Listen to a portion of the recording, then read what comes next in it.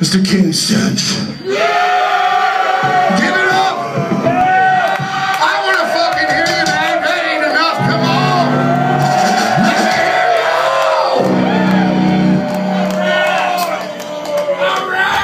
Yeah!